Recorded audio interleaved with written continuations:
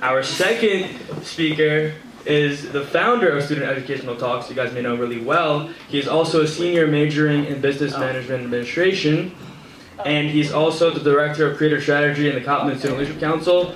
Give your hands up for Brian Falkenstrom. So, how's everyone doing today? Good? Good. All right. So, how many of you here know about automotive mechanics? That's about what I expected. So, uh, this is going to be a story about my father's 1991 Chevrolet Suburban, but I promise it's going to make sense.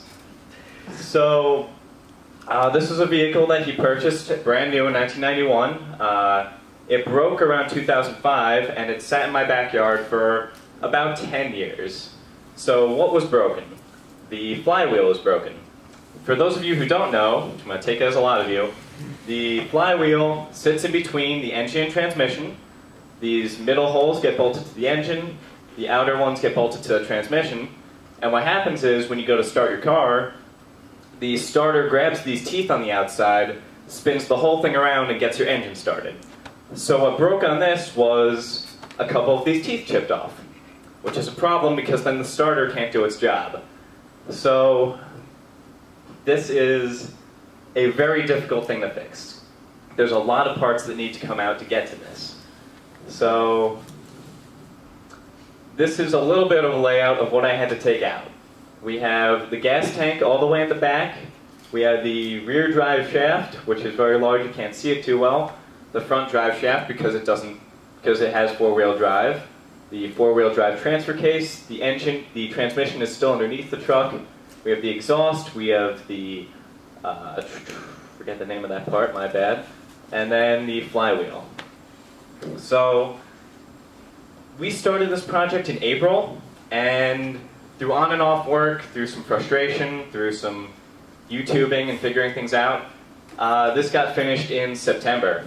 So that is a six-month project just to get this truck running again. And it had good results. We have a happy truck again. But what I learned is that there was a much easier way to fix this, something that probably wouldn't take six months.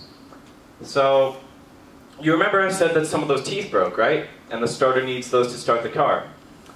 What you could do is, there's actually a bolt on the front of the engine where you could spin the whole thing line it up so that the starter grabs the teeth just before it breaks, it can get basically a full turnaround, and then you can usually start the car that way.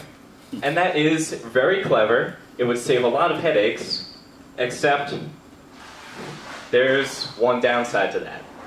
More teeth broke. So, that's the reason why it sat in my yard for 10 years.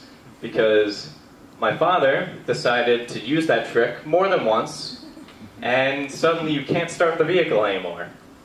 And that is an expensive thing to tow, that is an expensive thing to bring to a shop to fix. So how does this relate to the business world? Well, you have people in management, we have people in... Okay, I can do that. No? No? Okay. Technical difficulties, but we have people in management, we have people in finance, in accounting, who are going to be dealing with money.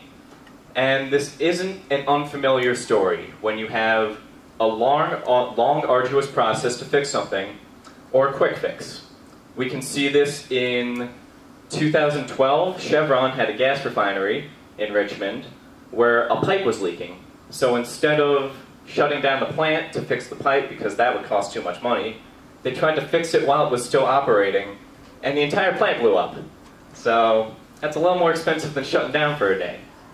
In December of last year, Amtrak decided to run its new Cascade line in Washington without first installing positive train control safety systems, and on the very first run, that train crashed, killed three people, and 62 people got injured.